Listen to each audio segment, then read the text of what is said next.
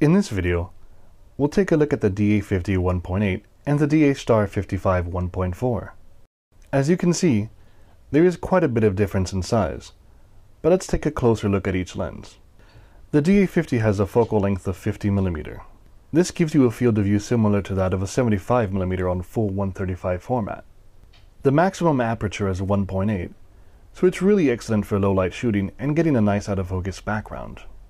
The focus ring feels very nice and the lens is fast to autofocus. The only accessories included are the front and rear caps. A lens hood is optional. The DA50 is very small and lightweight. Other than the glass, the lens is all plastic down to the lens mount.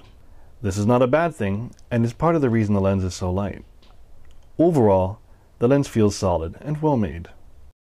The DA-Star 55 has a focal length of 55mm.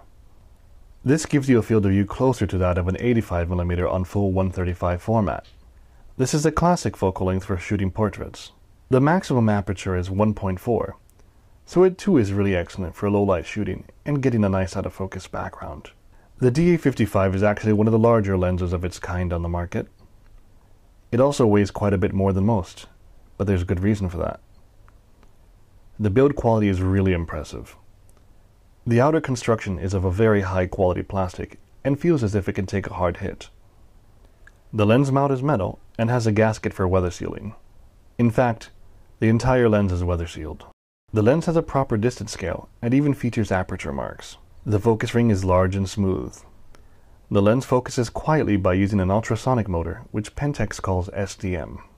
The included lens hood features a removable panel for turning of a circular polarizer. The lens also comes with front and rear caps, plus a nice pouch to store the lens. Let's take a look at some photos from both lenses. Here we have a shot from the DA50 at 1.8. As you can see, the background blur is quite nice and smooth. It really isolates the subject nicely. Here we have the same shot with the DA55 at 1.4. The background blur is smoother here. Even stopped down to 1.7, it's a tad smoother than the DA50 at 1.8. Let's look at a side-by-side -side from the two lenses. Both are indeed smooth and creamy, but the DA55 is just a little smoother. Which lens to choose? That's a difficult decision.